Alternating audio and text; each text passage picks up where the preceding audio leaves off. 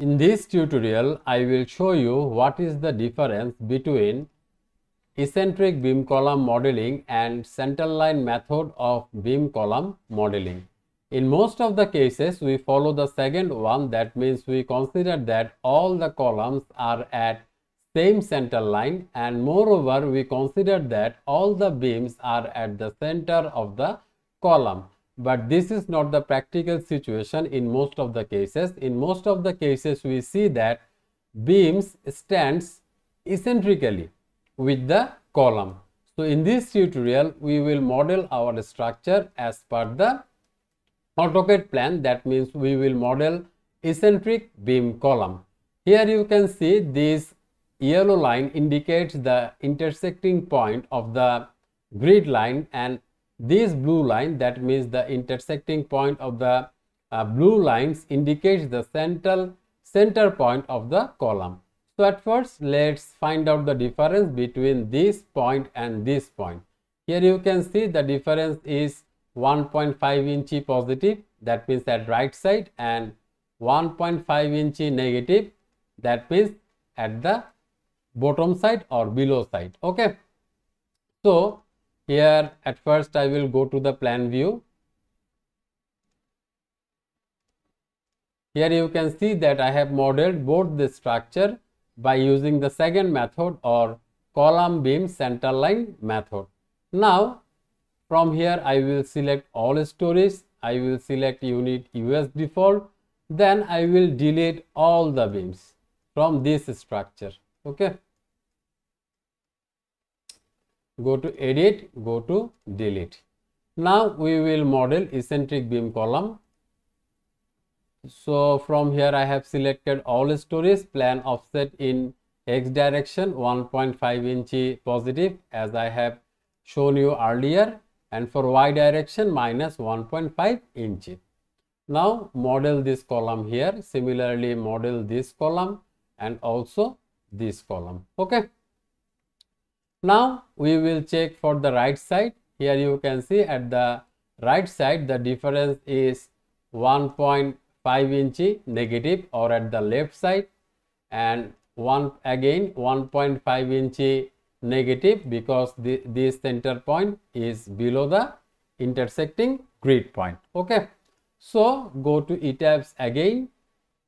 Quick draw column. Here i will use minus 1.5 inch now from here select the grid point, grid point and grid point.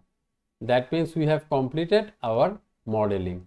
Now go back to the 3D view. Here you can see that there this is the center of the column and this is the intersecting grid point which we have to connect by using a link. So go to define then go to section property then go to link then go to modify. From here just select fix all. Click on ok. Now at first we will work with story 2 so go to select go to select stories. Here i will select story 2 at first. Close. Show selected objects only. Okay now we will connect this center of column and intersecting grid point with a link. Okay we have done this one for this column then go for go for this column and grid point then go for this column and grid point. Similarly do this for this column and this grid point then this column and this grid point similarly this column and this grid point. Now we will go to story 1 for this uh, left sided structure basically. So go to select select then go to stories. Now select story 1 select close show selected objects only. Okay now we will do the same thing here. Go to link properties connect this one and this grid point then this joint and this grid point this one and this one this one and this one. Similarly do the same thing for this one and also for this column and this grid point okay? Maybe we have done for all the column and intersecting uh, grid lines. So now click on show all objects. Now we will analyze these two structure but before that i will go to okay save this one. Go to define go to load combination. Here we are using these 18 combinations. Click on ok just analyze the structure.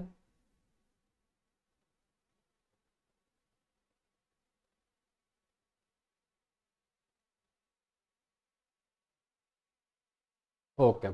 Another thing here you can see that there have some difference in their um, in their joint. So I will unlock the model. Then I will go to the plan view of base. From here I will select one story and make them fix supported because we need to check the difference in results. So we will uh, make them similar.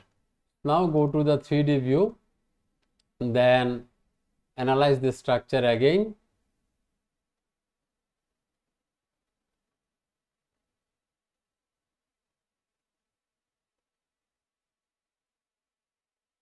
okay. Now go to design concrete frame design select design combination. Here we are using this 18 combination. Click on ok. Then go to design concrete frame design start design check. Okay you can see that all concrete frames uh, passed in the design check. That was not our issue. Okay that was not our issue. Uh, at first we will check the result for column. Okay. So go to select select object type then go to column select close show selected objects only. Here you can see for column this column requires 2048 mm square reinforcement but this column requires 2459 mm square reinforcement. This column requires 2048 mm square reinforcement but this column requires 2459 mm square reinforcement.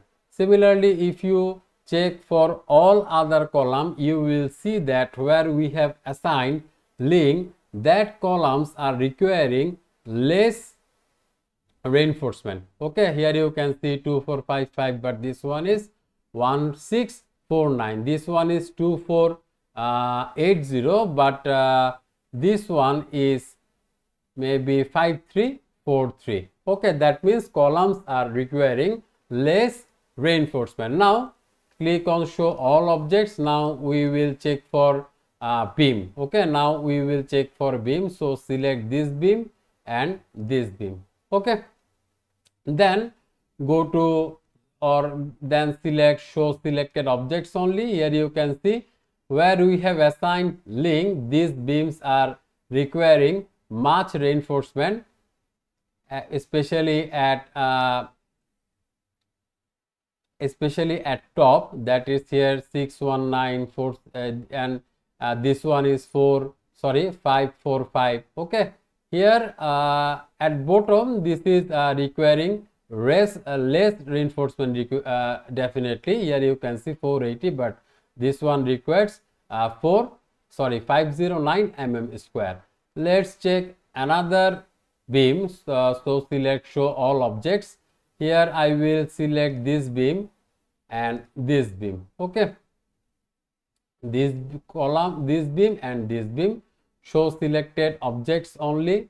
Here you can see that for this beam okay let me show you more clearly. For this beam we need 507 here we need 477 723 630 49697 640 okay.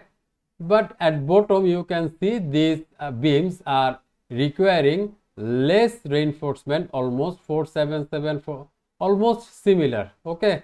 Yeah in other case you can say that this uh, this what should i say this structure is requiring more reinforcement. Okay.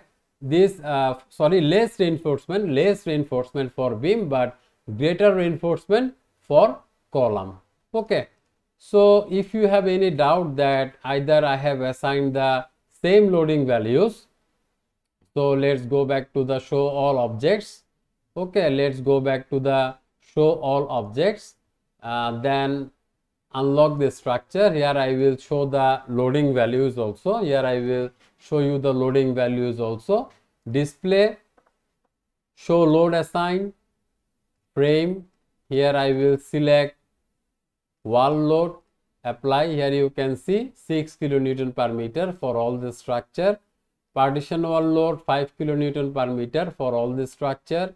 Then go for shell loading display load assign then go to shell then from here select live load. You will see 2 kilonewton per meter 2 kilonewton per meter square live load. And also here you will see that 2 kilonewton per meter square floor finish. That means loading values are same. But what is the conclusion?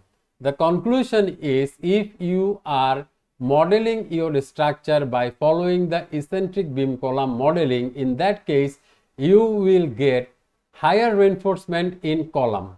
That means if you follow this procedure, you will get higher reinforcement in column and less reinforcement in column if you follow the column beam center line method. Okay, let me show you again. Let me show you again.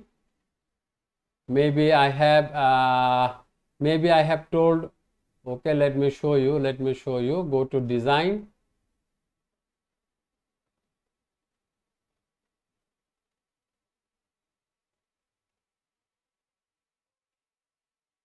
Okay then go to design concrete frame design start design check. Okay now go to select select object type. From here i will select column select close show selected objects only. Here you can see 202048 2469 that means higher reinforcement when you will model your structure by following the center line method. I am telling you again that if you follow center line method of modeling, you will get more reinforcement in column. Okay, then go for show all objects, then go for this one. Okay, show selected objects only. Here you can see if you model your structure by following the eccentric beam column model modeling you will get uh, much reinforcement in beam okay and less reinforcement in beam where you model your structure by following the center line method and that's the conclusion now it's up to you which method you will design or, or which method you will use for your design that's all for today See you in the next tutorial. Thank you.